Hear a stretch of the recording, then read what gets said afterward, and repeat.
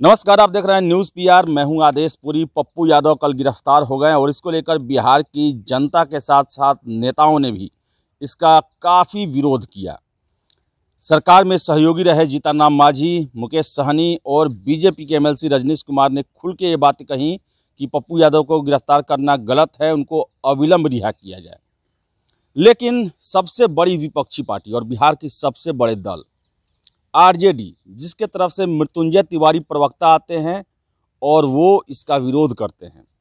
लेकिन सबसे बड़ी बात, जो कि लोगों के ये दिमाग में फिट नहीं बैठ रही है, लोग प्रश्न कर रहे हैं कि आखिर लालू फैमिली के द्वारा इसका क्यों नहीं विरोध किया गया? हर एक छोटी छोटी बातों पर तेजस्वी ट्वीट करते हैं, तेज प्रताप ट्वीट करते हैं, लालू यादव भी अब ट्वीट करना शुरू कर दिए हैं, राबड़ी देवी ट्वीट करती हैं, मीसा भारती करती हैं, रोहि, आचार्य रोहिणी करती हैं लेकिन पप्पू यादव को लेकर क्यों नहीं किसी ने ट्वीट किया?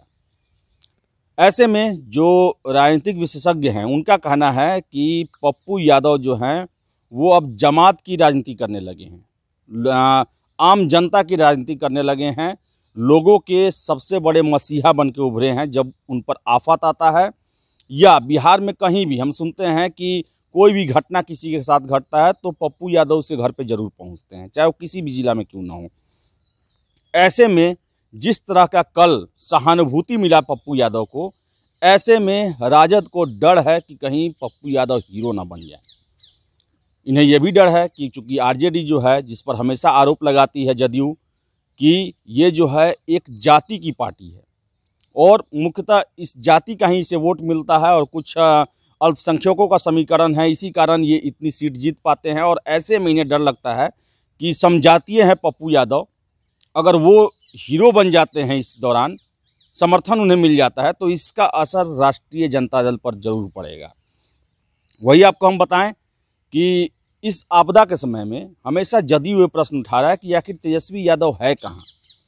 हमेशा वो विधानसभा में खड़े होते हैं, ट्विटर पे खड़े होते हैं, लेकिन बिहार के किसी भी हॉस्पिटल में या किसी भी जगह वो नहीं मिले जहाँ पर वो आम जनों की सेवा करते दिखाई दे। जब लालू यादव ने आ, कुछ दिन पहले ही वीडियो कॉन्फ्रेंसिंग के माध्यम से जो है वर्चुअली अपने कार्यकर्ताओं को विधायकों को संबोधित किया और कहा कि उन्हें जनता के बीच में जाना चाहिए अपने अपने क्षेत्रों में जो जनता की समस्याएँ हैं उनसे रूबरू होना चाहिए और मदद करनी चाहिए। और खुद के बारे में उन्होंने कहा कि मैं बीमार हूँ डॉक्टर मना कर रहे हैं जाने से इसलिए मैं नहीं जा पा रहा हूँ। जब सही हो जाऊँगा स्वस्थ हो जाऊँगा तो जाऊँगा। लेकिन लालू यादव ने अपने दो विधायक बेटे इनको नहीं भेजा। और इस पर ही आती है जदयू की प्रतिक्रिया की कि लालू यादव जो हैं, अपने बेटों को फॉर्म हाउस में रखे हैं और आम जो जो दूसरे विधायक हैं, उनको कह रहे हैं कि इस आपदा में लोगों के बीच में जाएँ। यानी उन्हें अपने बेटे की फ़िक्र है और अपने विधायकों की फ़िक्र नहीं है।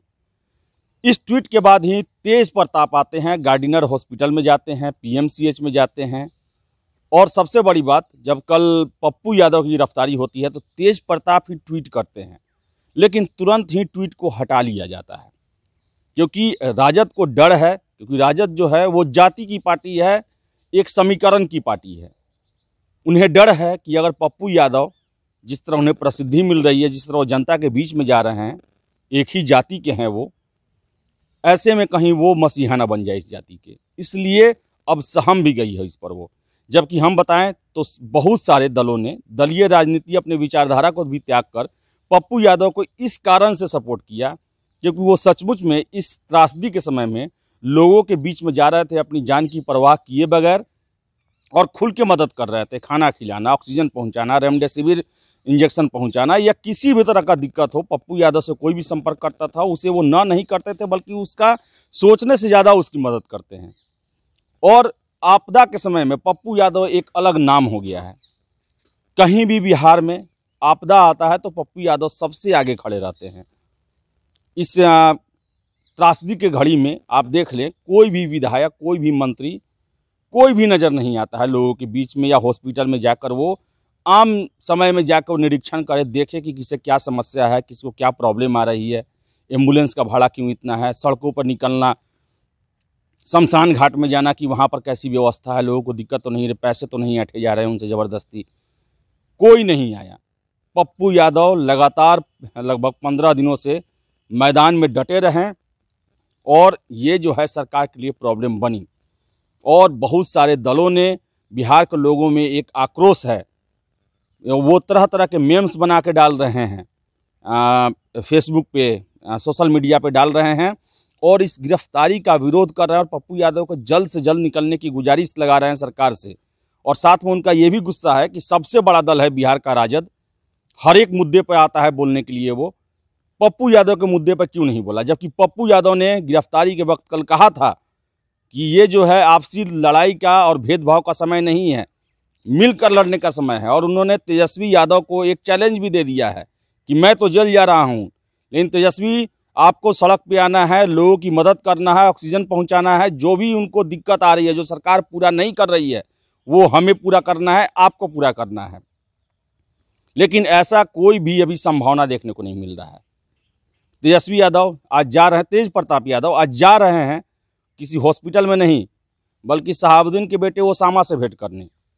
और उसका सबसे बड़ा कारण ये है कि शहाबुद्दीन के मौत के समय में जो अल्पसंख्यक वोटर हैं वो आरजेडी के रवैये से नाराज़ चल रहे हैं और ऐसे में डैमेज कंट्रोल करना है। तो एक नाराज़गी है कि आखिर पप्पू यादव जो बिहारियों के लिए, गरीबों के लिए काम कर रही है, जबकि आरजेडी का भी वही पॉलिटिक्स है कि गरीबों के, गरीबों की पार्टी अपने आप को कहती है तो गरीबों के लिए काम करने वाले नेता को जब गिरफ़्तार किया गया, सरकार में सहयोगी रहे जो नेताओं ने इसका विरोध कर डाला, खुलेआम आके ट्विटर पर बोला उन्होंने मीडिया में आके बोला उन्होंने, लेकिन लालू फैमिली ने क्यों नहीं बोला? ये सब कोई जानने के लिए परेशान है।